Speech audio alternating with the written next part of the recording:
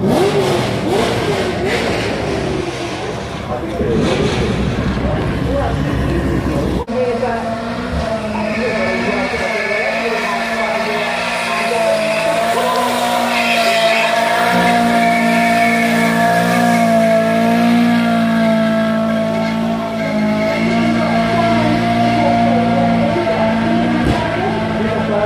Talking to uh, some of the stars and uh, soaking up some of the atmosphere here on Festival Sunday the 2016.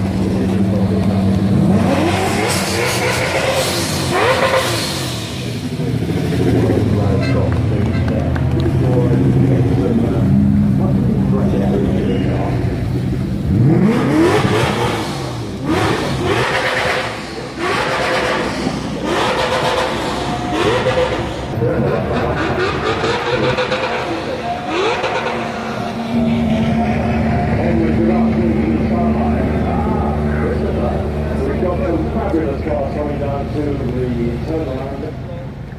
And the good news